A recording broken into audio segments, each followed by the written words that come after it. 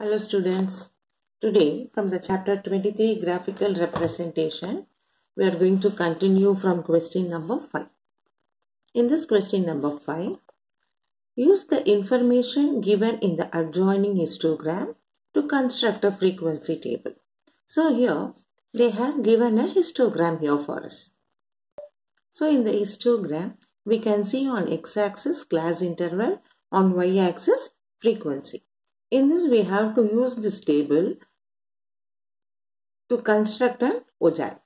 So in that way we first read the diagram, we analyze the diagram. So from this histogram given, what are the required frequency table? We can see from 8 to 12, the point is 9 frequency. Then 12 to 16 is 16 frequency. 16 to 20, 22. 20 to 24, 18. 24 to 18, 12. 28 to 30, 4. So we read through the histogram, the class interval and what are the frequency. By using this, we have to construct an ogive. ogive for that we need cumulative frequency. So we make a cumulative frequency and from there we draw an ogive graph. Now based on the histogram given, we draw the frequency, we required frequency table. No, so first we write the frequency table. From the histogram given, required frequency table, we make a frequency table as below. So what is given for us to make a frequency table? We make a tabular column. What is the class interval? And we have to make the given frequency. The next subdivision is to make an ogive. So for that we need cumulative frequency. So we make a tabular column.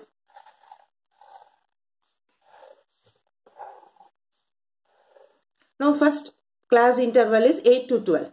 So for 8 to 12, the frequency is 9. So our starting cumulative frequency also will be 9. Then the next class interval is 12 to 16, where the frequency is given as 16. Cumulative frequency will become 9 plus 16, 25. The next class interval 16 to 20 and the frequency is 22. So now cumulative frequency is 9 plus 16 plus 22 which is 47. The next class interval 20 to 24 which is 18. Now cumulative frequency is 9 plus 16 plus 22 plus 18 which gives us 65. Next 24 to 28 frequency is 12. Cumulative is sum of all this number which comes up to 77.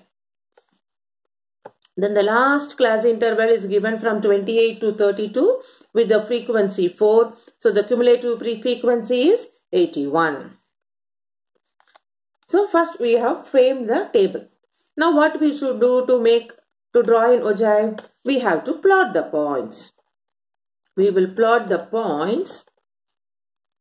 How we are going to plot the points? This is ogive for less than. Less than means what we should take upper limit. So the upper limit here are 12, 16, 20, 24, 28, 32 with the cumulative frequency. So we have to plot the points of 12, 9, 16, 25, 20, 47. The next is 24, 65. Then the next is 28, 77. 32, 81. Okay. So now we have give plot the points of the upper limit with the cumulative frequency. Now we have to take a graph and we have to draw an ogive. So we take a graph.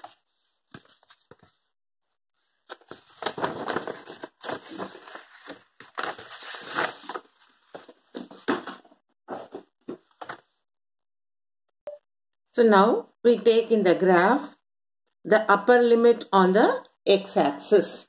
What is this? This is our class interval.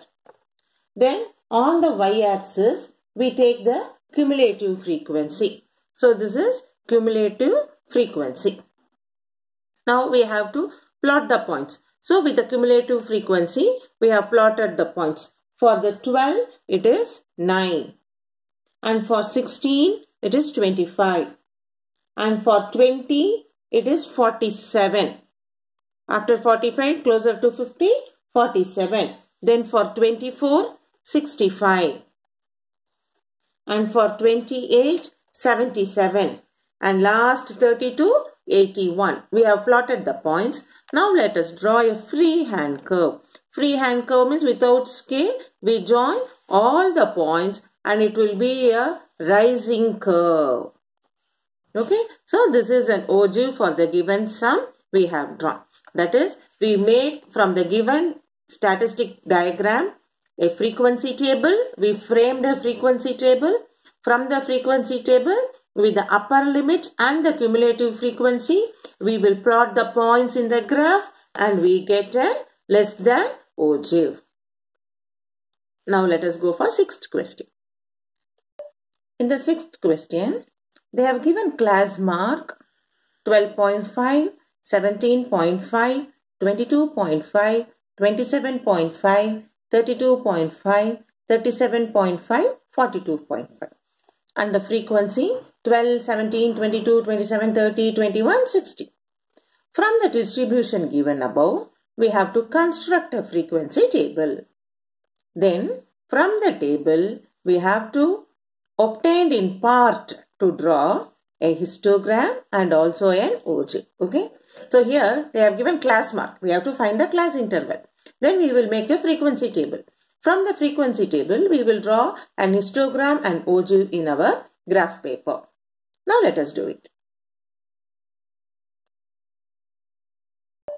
Now, what is given for us? Class mark is given. So, for us, no, class mark is given as 12.5, 17.5, 22.5, 27.5, 32.5, 37.5, 42.5. Since class mark is given, we have to find what is the class interval. So we will find class interval. To find the class interval, we will see what is this class mark, difference between the class mark 17.5 and 12.5. It is 5. Okay. So first what we do, difference in consecutive class mark we find. Difference in consecutive class mark. That is 17.5 minus 12.5 is 5. So our class interval should be has the class size of 5. Now we have to see when you get 12.5 it should, it should be that we know class average is upper limit plus lower limit by 2. So in that way when you think what should be the class interval it should be 10 to 15. Okay, so we know class mark is upper limit plus lower limit by 2. Now 12.5 to be average, what it should be 12.5, mid, midpoint should be 12.5. That is the class interval should be 10 to 15. This is your logical thinking, okay? After finding the class size. So with the 5 of the class size, with the class mark 12.5, we consider the class interval 10 to 15. So now it is easy for you to continue the class interval. Now this will become 15 to 20, 20 to 25, 25 to 30, 30 to 35, 35 to 40, 40 to 45. So we have found what is the class interval. Now for this they have given us frequency. What are the frequency given for us? 12, 17, 22, 27, 30, 21, 16. From the textbook, we write this frequency given. Now for that, let us find cumulative frequency because we have to find an ogive, right?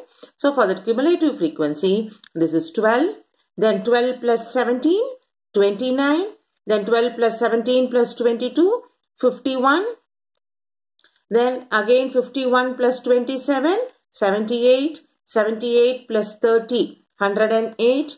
108 plus 21, 129. 129 and 16, 145. So summing up each frequency, we have got cumulative frequency. So now with the given question of class mark and frequency, first we find size of the class interval. So when we find the difference in consecutive class mark, it is 5. So size of the class interval should be 5. Now to get the class mark of 12.5 by the definition we know it is upper limit plus lower limit by 2. That means average of two limits. That means midpoint. So when you get 12.5, when we have the class interval from 10 to 15 with the class size of 5, we get 12.5. So we write class interval as 10 and 15. This is our logical thinking. Then by using that, with a class size of 5, we continue the class interval with each 5, 5. So we get 15 to 20, 20 to 25, 25 to 30, 30 to 35, 35 to 40, 40 to 45. So in that way, we completed finding the class interval. Then frequency is given against each class mark.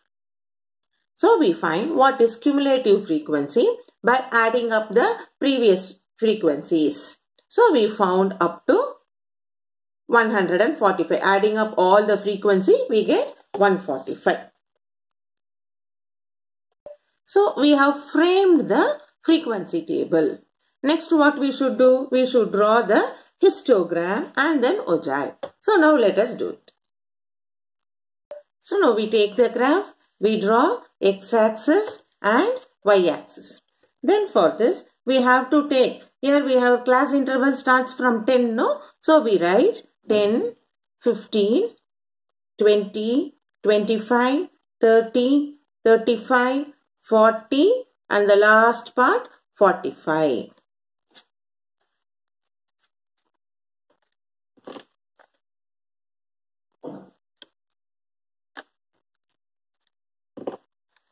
So after that, we have on the frequency part, maximum it is up to 16. You, have, you see in the table clearly for histogram, we have to consider only the frequency. So by mistake, don't go for the cumulative frequency. That is only for ogive. Okay. So we are drawing now histogram with the class interval on x-axis, frequency on y-axis. So the maximum frequency is 30. So we write, now can we take it as 5, 10, 15, 20, 25, 30, 35. Now we have 10 to 15 is 12. So we mark it on 12 and we draw a rectangle graph. 10 to 15, 12. Then 15 to 20, 17.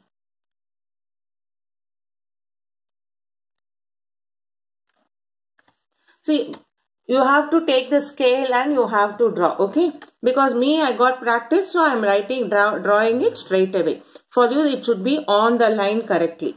Then 20 to 25 22 so we take 22 and we join it. Next 25 to 30 27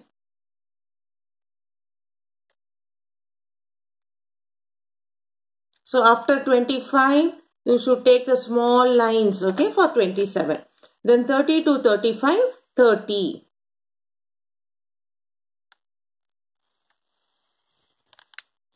Then 35 to 40, 21. So we'll come down again. After 20, that small line.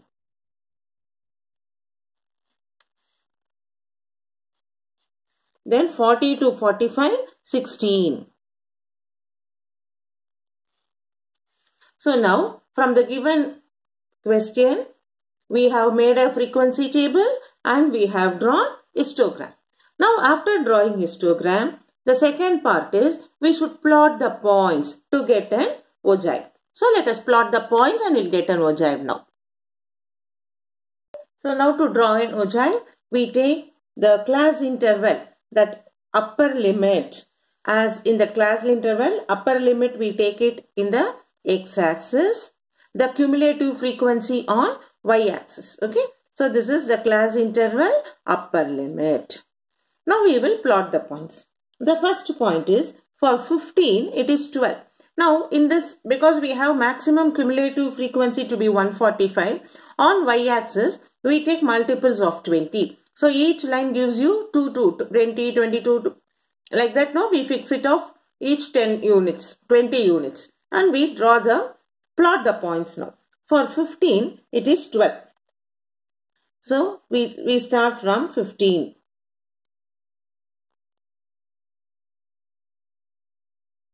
For 15, 12. Then we have 20. For 20, 29. Then for 25, 41. And for 30, 78.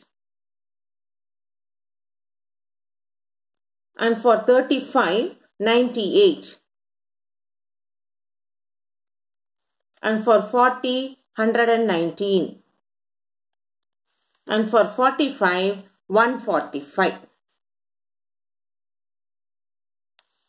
now we have plot the points now let us use having a free hand to obtain the ogive so now we have plot the points on the graph paper we join them in the free hand so if i join we have a upper curve this is an ogive of this given problem. So this question they have given you with the class mark table. See they have given you with the class mark table. We framed class interval and the frequency table is formed.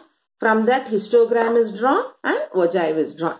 And like this doing the sum is very important sum for your 4 mark question. Because making the class interval and doing you will be getting 2 mark. And for drawing an histogram 2 mark and for ogive it is 1 more mark. So like that no 2 this is making frequency table 2 mark histogram 1 mark ogive 1 mark totally you will get it for 4 mark such an important question for you.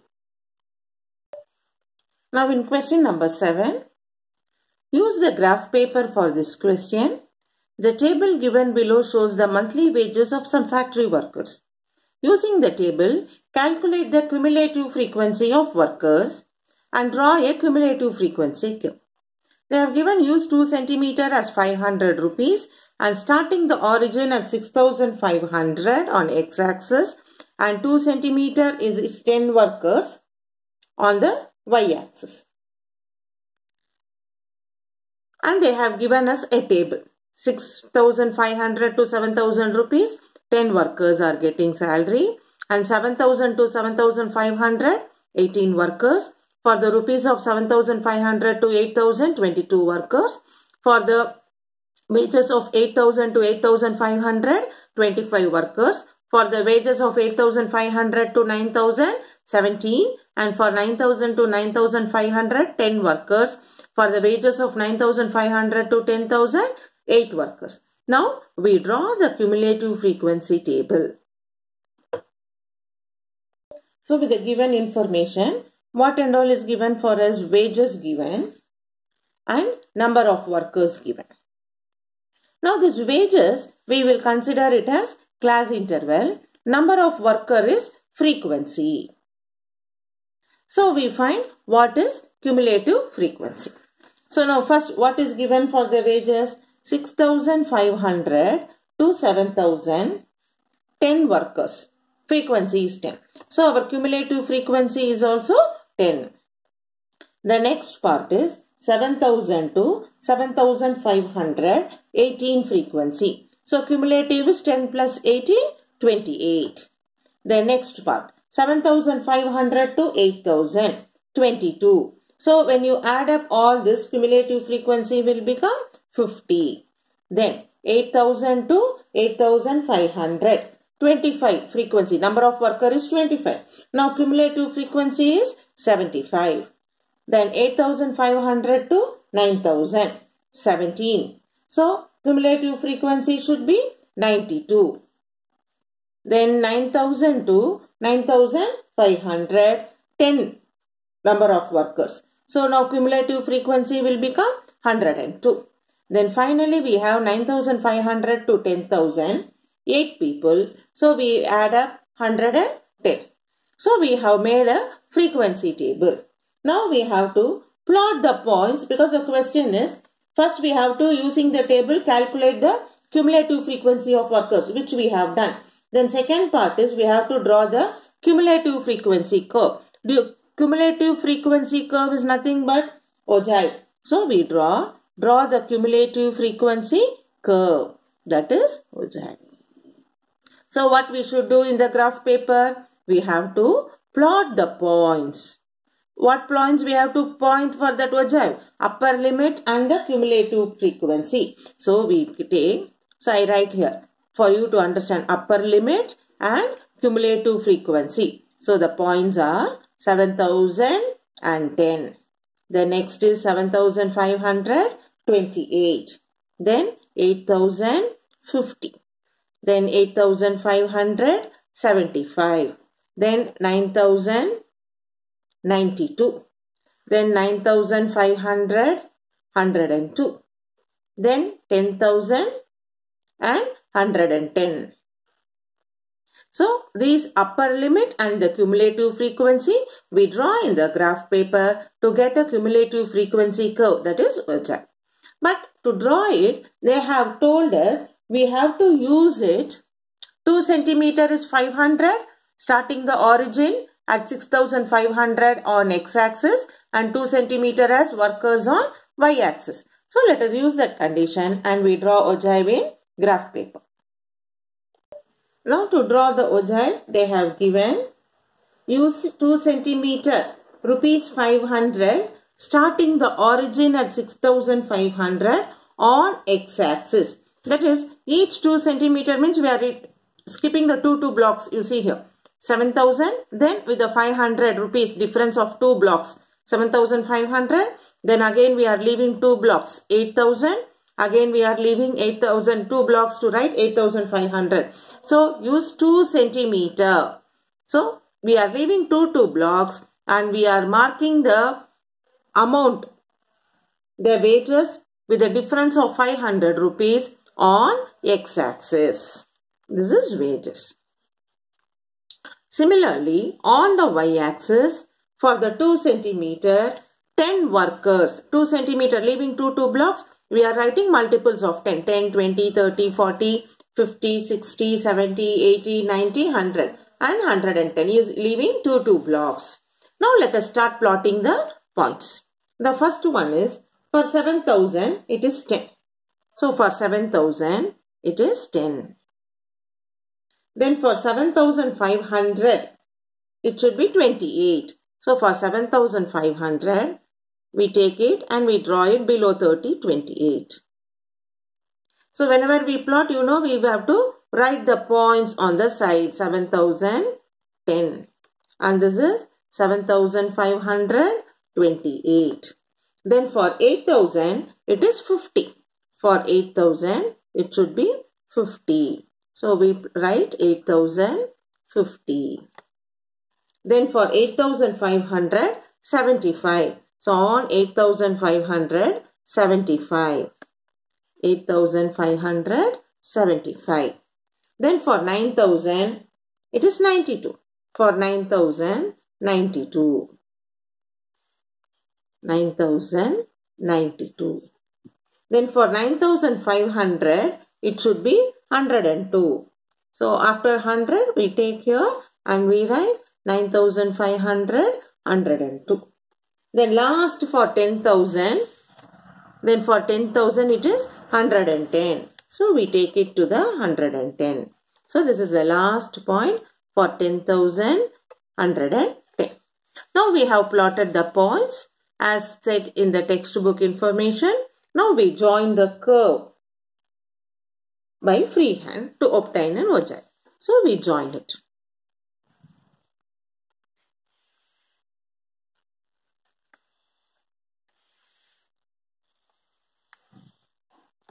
Okay, so this is the curve for the given sum. Since it's a quite big, we are not able to capture it fully.